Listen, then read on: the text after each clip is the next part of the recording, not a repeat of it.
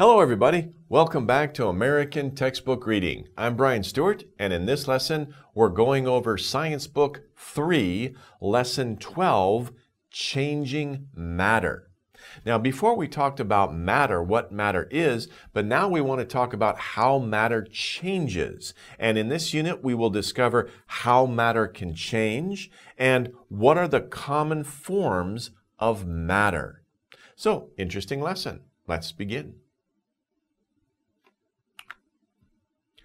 Okay, we always begin with a vocabulary section. So let's learn some new words or maybe go over words you already know that will be used in the lesson and in the reading section. The first word is stir. To stir means to mix liquids or solids together. You probably stir many times in your life already. Sometimes your drink, let's say you have a drink and it's tea, and the tea, you taste it, ooh, it's too bitter.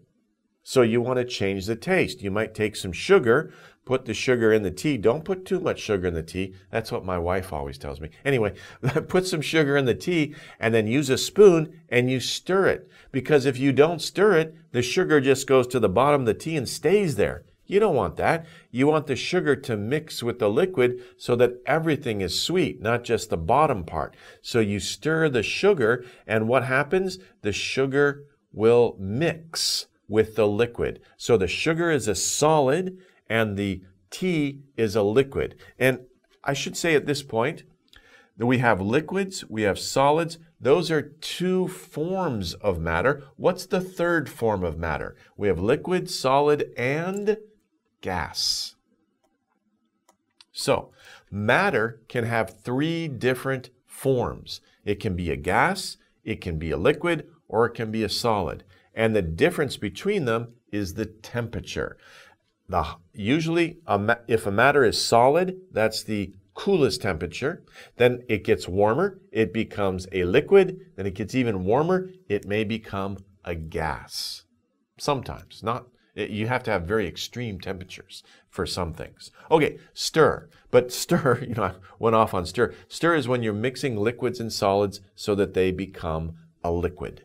They're all liquid. The solid dissolves. We'll talk about that.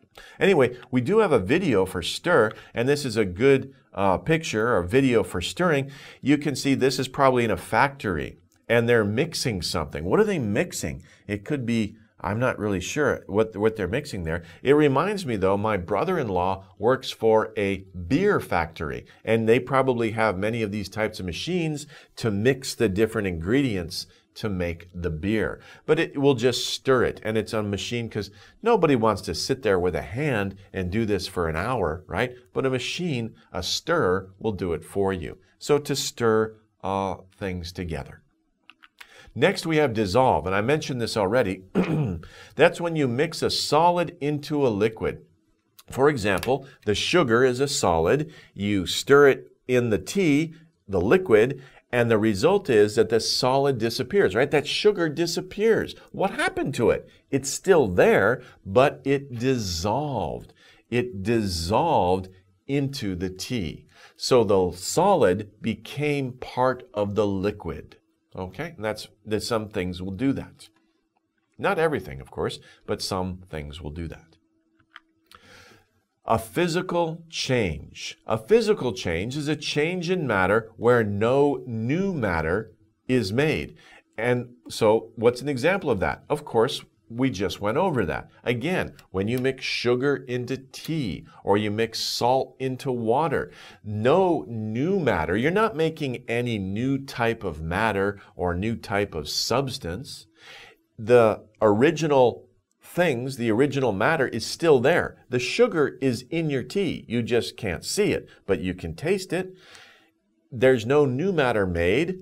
It's, but it's been changed from a solid into a liquid. And the tea has changed too because it's now um, part, uh, you know, it's got the sugar in it. So it's a physical change, okay? A change in matter where no new matter is made.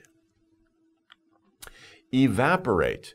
Evaporate is another type of a physical change because let's say we have that tea, right? We have the sugar. Now let's say we heat up the tea so we want to change the liquid to a gas, right? We just talked about that. As temperatures get hotter, liquids will turn into a gas. So if you boil the tea, right, the, the tea, the water in the tea will evaporate. It will come into the air and disappear. And at the bottom, you have the sugar crystals at the bottom. Sugar's still there, right? So there was no change in the matter. No new matter was made. It's all still there. It's just a physical change. So dissolve and evaporate are both physical changes. They're uh, different types of physical changes.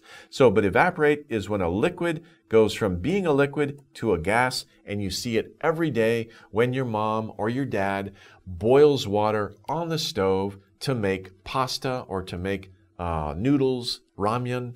Uh, you boil water, and the water, you see the steam above the water, that means the water is changing into a gas. The water is evaporating. Don't boil the water too long because all the water will evaporate, right? And you'll have a problem. Whatever you're cooking will burn. you don't want that. So be careful. Uh, but when you do that, okay. Next, we have rust. Now, rust is a different kind of change. Rust means when a metal changes into new red or brown matter. New matter is created, so it's not a physical change, it's a different kind of change. We'll talk about that. Um, but when a metal is left out, so imagine you have some metal parts. If you have a metal toy and you leave it outside and it rains and it's outside for a couple months, you you like where's my toy? And you go out, you look at it, and your metal toy is now changed into red or brown color, and maybe some stuff powder comes off of it, and it's not as good or as shiny as it used to be. That means that it has rusted. Okay, so be careful with your metal things that you have a bicycle, uh, a toy. Don't leave it outside in the rain because, especially water and wind, air will make that metal rust. Okay? Some types of metal do not rust. Stainless steel doesn't rust. Okay? But other many other types of metal will rust. Now, rust, as I said, is not a physical change, it is a chemical change. A chemical change is a change in matter where new matter, new matter is made. So I just gave the example of the metal, right? The metal changes into uh, it changes color, red or brown, and it's a new powder, right? This it, it's that's not metal, that's a new matter. Another good example is in the picture here, right? If you have a match, right, this is a certain type of matter. But if you light the match, and there's a flame, right? I'm not a very good artist. A flame, that's maybe better. What happens? It turns black and the wood changes form. Now, this isn't wood, this is ash. It's carbon, right? The chemical property of the wood and this part here, the match head, uh, changes into new matter. That is what we call a chemical change. Chemical change where new matter is made. Okay, so we saw two different types of uh, changes in matter. Okay, those are our words for today. Now let's go over the two main ideas for this lesson. And we already kind of touched upon these in the vocabulary section. We talked about physical change and we talked about chemical change. Remember, in a physical change, no new matter is made. So what kinds of physical changes are there? Well, of course, there's cutting, right? When you cut paper, or you cut colored paper to make some interesting designs or some artwork, you're cutting the paper. You're changing the, the shape or the physical properties of the paper, but you're not making any new material. It's still paper, right? But it's just changed in its form or its size. So cutting is a type of physical change. So is folding, right? You have a flat sheet of paper and you fold it, and some people can fold and make very interesting shapes with the paper, but no new paper is made. Nothing new is being made. You're just changing the existing paper. And again, the same thing for tearing. Tearing is like cutting, but tearing is not as neat or as precise or as controlled as cutting. cutting is very controlled and you can control the, the cut very easily. But when you tear something, you don't really control it. The tear goes anywhere. So that's the difference between cut and tear. Tear is just you rip paper apart and it just tears off. So again, in these types of uh, methods for changing matter, no new material is made. However, on the bottom, for chemical change, new matter is made. We gave the example of the match. It burns. So what the paper changes, the paper changes into black substance here. We call that carbon. It's also ash and smoke. Smoke is a gas, right? The, the smoke of the fire is the paper changing because of the heat. That is a chemical change. Again, heat, like I said before, heat will change the, the, the matter into something new. And it looks like an example here, the eggs. They're still eggs, but the physical properties of the eggs, they will change. Um, and you might get some new um, matter when you cook eggs, especially if you cook eggs too long, they'll turn black and be burnt. So be careful when you heat foods. And of course, we saw the example before when we were looking at the vocabulary. What does rust mean? Rust is when metal is left outside, exposed to rain, usually rain, humid water, moisture, and air, oxygen. Uh, it, the, um, the metal will rust. It will change like this, and it will make this brown or red material and if you touch it it's like a powder and it falls off the metal. If you leave metal out long enough the nails or whatever this is they will rust away. The metal will disappear. It will completely change and that's not good obviously. You don't want that to happen. Okay so those are two ways of changing matter. Now as i said before matter can have three main forms and we talked about those. First we have solid then as the temperature increases, it becomes a liquid. And then the temperature keeps going up, it becomes a gas. So these are our three main types of matter, or three main states of matter. Changes of state will occur. And we talked about some of these already. So freezing, again, like I said, as the temperature goes up, this is temperature, temperature. As the temperature goes up, Solids turn into liquids, liquids turn into gas. But it also happens the other way as the temperature goes down. So if we have a liquid, it changes into a solid. That's what we call freezing. So of course the common example is water. Water is normally a liquid. If you have water at room temperature in your uh, in your bedroom or in your kitchen or in your living room, in your house, you have water that's not in the freezer, right? That's just water. You drink it. It's a liquid. But if you put it in the freezer, you lower the temperature. What happens to the water? It becomes a solid. It freezes and it changes from a liquid to a solid. In this case, it changes to ice. Okay? Ice.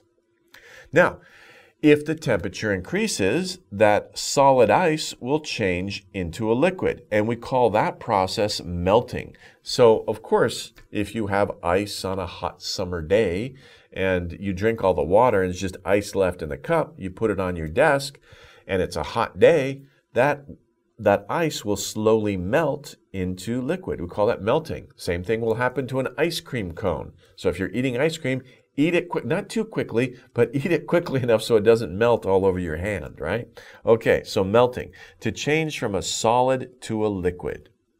Now, evaporating, we already talked about that. That is when a liquid turns into a gas. And we saw the example with the water on the stove. If you heat up the water to boil something, you want to make pasta, noodles, whatever, um, the water will start to bubble, right? Because the heat makes it, there's a lot of energy in the water and it starts to bubble. And what's going on is that liquid is forming into gas and the gas is escaping into the air. It's still water, it's just moisture in the air instead of liquid in your pot. So to change from a liquid to a gas and go into the air, it kind of, you know, it's hot, it kind of merges with the air, it gets in the air, and it becomes part of the air. Of course, there's a lot of water in the air right now. There's some very small particles of moisture floating around right now. And they go up in the sky, it becomes cold, they turn into liquid. What happens? It falls as rain or snow. depending on the, uh, on the temperature. Now, condensing is an interesting word or an interesting changes of state. That means it changes from a gas to a liquid. Remember, a gas is very hot, but when a gas becomes cool, it turns into a liquid. So again, think about your cup of ice water, right? You put it on your desk. Now you may notice that after a few minutes, water will form on the outside of the cup. How did water get from inside the cup to outside the cup? That didn't happen. Remember, I just said there's water in the air around you. Especially on a humid day, there's, there's more water. Now, if, if that gas, the air, comes into contact with a cold surface, what happens? Well, the water in the air cools down. It changes from a gas to a liquid. And those are the drops of water you find on the outside of your cup right? It also happens on the outside of your car, right? In the morning, right, it gets very cold. That air, the, the moisture in the air will collect on your car. Your dad will go out and say, What, did it rain last night? It didn't rain. It was just the dew. We call that dew in the morning that gets on your car. And that's the, it comes out of the air and it cools down and it drops onto your car on the ground. It's also on the grass. It's all over the place. We call that dew. And that's because condensing or condensation. Condensation is the noun. Condensation. Condensation, I-O-N, it's a noun. So that is condensation. When gas cools down and forms a liquid, that's condensation. So it's the condensing. Okay, those are some important ideas. We'll take a look at those ideas in the reading passage. Okay, here we have the reading passage. As usual, uh, you can read along with me or read along silently in your mind. Let's focus on the pronunciation and on the words we just learned. Are you ready? Let's begin. Matter can change. If you cut paper into pieces, it looks different. But each piece of paper is still paper. This is a physical change. A physical change means the matter has changed from what it looked like, but it is still the same matter. Matter, sorry. If you stir salt into water, the salt will dissolve. You cannot see it anymore. Salt dissolving in water is a physical change. The salt is still there, but now it's a liquid, it's mixed with the water, you can't see it. Okay. When all the water evaporates, the salt will be all that is left. You can separate salt from water this way. If you burn paper, smoke and ash are made. Smoke and ash are not paper. This is a chemical change. A chemical change means new matter is made. The metal iron can rust. Rusting is a chemical change. Parts of iron, very small parts, parts of iron change into new matter which is not iron. Okay, that's the reading passage. Now let's talk about how the reading or the information, the reading passage was organized. What is the reading skill here? We have classify. We classify is to separate into different groups. And in this passage, we talked about two different groups of how matter can change, right? We talked about physical change and we talked about chemical change, okay? So first we have physical change. In physical change, matter has changed and looks different, but it is still the same matter. This is called beep, okay? What is the beep? This is called a physical change. Kind of interesting. Physical change. Phys- oh, yeah. Oh, oh my gosh. It's over here. physical change. P H Y S I C A L change. So it's kind of odd that, you know, it's the same thing, really. It is still the same matter. This is called a physical change. Salt can do what? What do we talk about? We talked about different types of changing or different ways, methods for changing. Salt can dissolve in water. Dissolve. Dissolve. Salt can dissolve in water. And what else? What's the opposite of dissolve? Water can what? Evaporate. Evaporate. So what we have here in our reading skill is we have one type of change. That's a classify. We say one type of change is physical change, and then we have details of physical change, right? First we have, we say, we define what is physical change, and then we give one detail. Dissolve is a type of physical change, and evaporate is a type of physical change. So we have uh, the group, what is it, and what are two details. That's how this information is organized. It's a good way to organize information in a reading passage. And the same thing happens for chemical change. So first we have chemical change, right? New matter is made. This is called a chemical change. So first we define what it is. It's a chemical change. Whoops. This pen. Yeah, okay. There we go. So new matter is made. This is called a chemical change. So first we define it. New matter is made. That is what we call a chemical change. Now what's a type of chemical change? The metal iron can, remember when the metal iron changes into a red or brown material, we call that rust. And new matter is made. Okay? So this is a good way to organize your information in a reading passage. You know, you might classify it, you know, this group, this group, define what is this group, and then give examples. Then define what is the other group, and then give examples. That's a very good way to organize your information in a reading passage.